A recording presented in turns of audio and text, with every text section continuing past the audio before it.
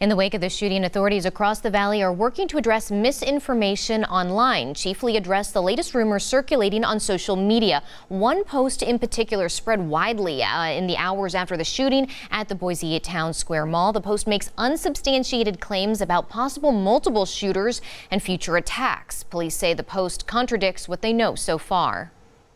Slow down and, and reread it and see if it passes the smell test. If it doesn't make sense or part of it's questionable, uh, that's the first part. If you can't independently verify it anywhere but similar threads or similar posts on other social media uh, sites, then it's probably not true.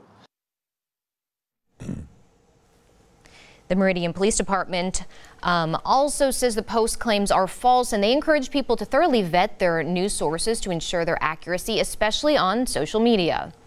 Slow down and, and reread it and see if it passes the smell test. If it doesn't make sense or part of it's questionable, uh, that's the first part. If you can't independently verify it anywhere but similar threads or similar posts on other social media uh, sites, then it's probably not true.